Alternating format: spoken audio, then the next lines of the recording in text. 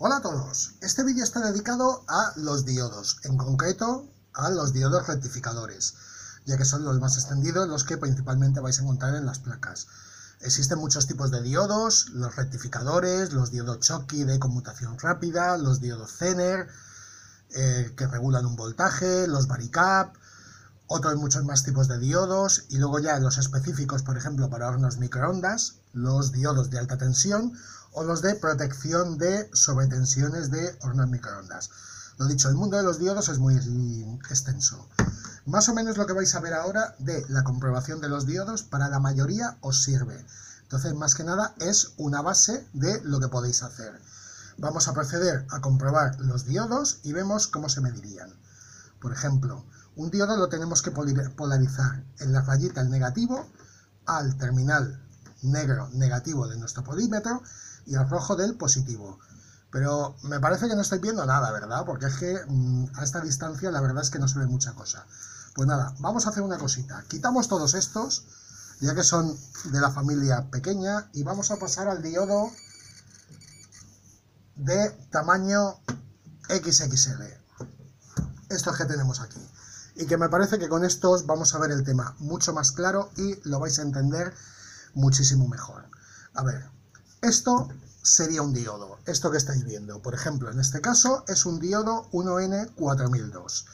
En un diodo de, podemos distinguir o nos encontramos dos terminales, que son el terminal ánodo, que sería el positivo, y el terminal cátodo, que sería el negativo.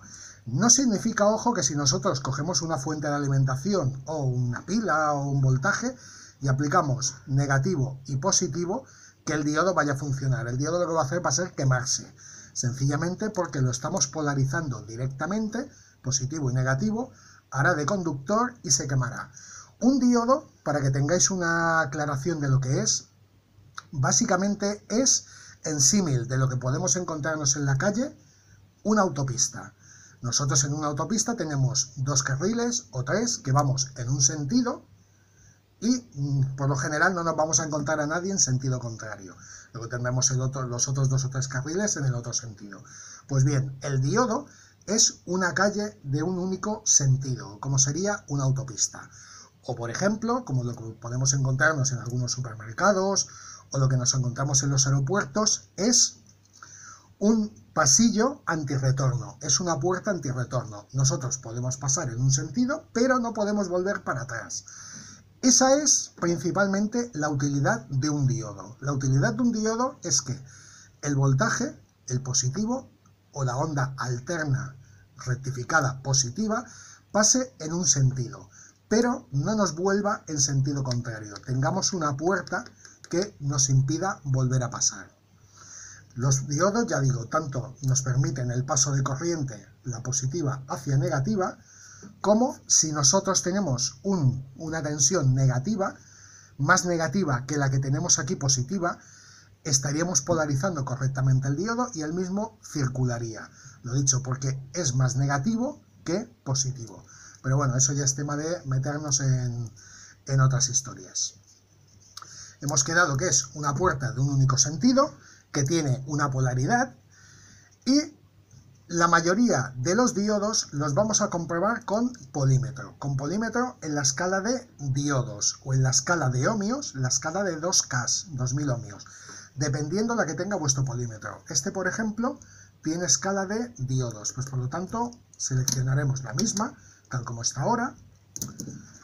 Prueba muy importante antes de poder comprobar resistencias o diodos es comprobar nuestro polímetro. Lo hemos comprobado y funciona correctamente. ¿Y qué hacemos? Aplicamos, tal como hemos dicho, al terminal positivo la punta roja del polímetro. Y aplicamos al terminal cátodo negativo la punta negra. En este caso es un diodo, tal como hemos visto, un 1N4002. Es un diodo rectificador. El rango que tienen estos diodos de señal que nos va a dar con el polímetro es de entre 500 y 600 aproximadamente. Ojo, con un polímetro, cuando nosotros estamos comprobando un diodo, aunque lo hacemos en la escala de ohmios, la escala de resistencia, no estamos comprobando la resistencia del diodo. Realmente lo que estamos comprobando, la medida que nos da el polímetro, es el voltaje umbral al que empieza a conducir el diodo. Es decir, no comprobamos, ya digo, su resistencia de paso, ya que si comprobásemos su resistencia, invirtiendo no funcionaría igualmente. Lo que comprobamos es el voltaje al cual el diodo empieza a dejar pasar tensión. Debido a que la tensión que le aplica el polímetro en esta escala aproximadamente es de 0,6-0,8 voltios aproximadamente, pues el diodo, vemos que en este caso, al ser un diodo rectificador, nos deja pasar 0,56 voltios. Esta señal, esta resistencia teórica que estaríamos viendo en el polímetro, realmente, lo que he dicho antes, es un voltaje umbral. Por lo tanto, lo tenemos que interpretar como 0,55, es decir, 550 eh, milivoltios, 0,55 voltios. Es el voltaje al que empieza a conducir el diodo. Podemos encontrarnos que, ah bueno, falta una cosita, eh, lo hemos visto en polarización directa, lo vemos ahora en polarización inversa. Colocamos a cátodo, a negativo, la punta positiva y colocamos a ánodo la punta negativa. Vemos que el diodo no conduce. Por lo tanto, este diodo nos ha dado una medida en polarización directa, en inversa, tal como hemos hecho ahora, no nos da nada. Este diodo estaría perfecto, estaría funcionando correctamente. ¿Cómo sería un diodo que estaría averiado? Vamos a simularlo. Y lo que hago es simularlo con un cable, ya que no tengo ahora ninguno que esté averiado. Y lo dicho, un diodo que esté en mal estado, que esté averiado, nos va a dar esto que vamos a ver ahora. Nosotros lo polarizamos directamente al positivo la punta roja, al negativo la punta negra, el polímetro ya nos marca que tenemos un cortocircuito y nos está midiendo cero, cero ohmios. No tenemos voltaje umbral, tenemos cero, nos indica cero, invertimos las puntas y nos dará lo mismo. Por lo tanto, un diodo que en un sentido y en otro sentido nos mida exactamente lo mismo es un diodo averiado. La medida que puede dar puede ser 0, pueden ser 50, puede ser 100, pero lo dicho, es un diodo averiado. He hablado ahora de 100. Vamos a ver una salvedad. Existen los diodos de conmutación rápida, los diodos Schottky, como este que tengo aquí. Pues el diodo Schottky es un diodo que se comporta prácticamente igual o muy parecido que eh, los diodos rectificadores normales, pero estos diodos, lo dicho, son de conmutación rápida tienen igualmente el negativo y el positivo y son diodos con una baja tensión umbral. Es decir, que a muy poquita tensión, a una tensión muy baja, empiezan a conducir, empiezan a dejar pasar voltaje. Por lo tanto, este diodo son los típicos que se utilizan en muchas fuentes conmutadas. Son diodos que si nosotros los comprobamos con el polímetro, nos dan una medida un tanto extraña. Hemos visto que el otro nos daba 55, 0,55 y este nos da 175. Mejor dicho, el otro daba 550, este da 175. O sea, 0,17 voltios. Nos da una tensión muy baja. Inicialmente parecería un diodo averiado, sería la duda, es lo que muchas veces me consultáis. Oye, tengo un diodo que me da 0,1, o, sea, me da 100, me da 175, me da 180, ¿es un diodo averiado? Pues no, lo más probable es que sea un diodo Schottky. Hemos comprobado en polarización directa, giramos ahora, pondremos la punta positiva a negativo y la punta negativa, mejor dicho, la punta positiva al negativo y la punta negativa al positivo. Y tal como veis, el diodo no conduce.